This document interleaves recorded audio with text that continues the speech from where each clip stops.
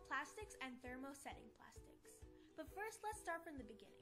Plastic is used practically every day and can vary from CD cases to cups to a Rubik's Cube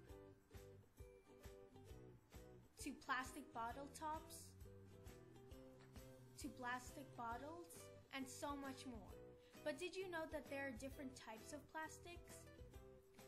One type of plastic is called a thermosetting plastic, and this can only be heated and molded once and is not usually recyclable.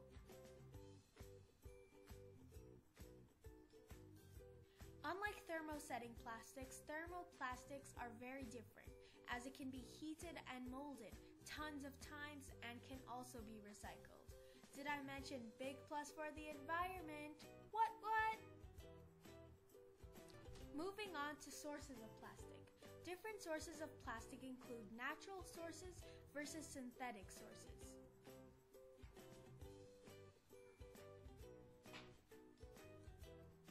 Natural sources include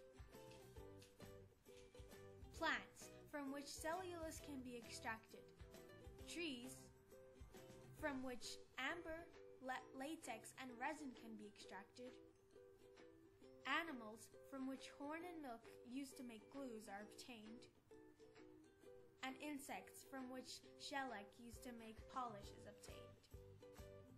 Moving on to synthetic sources.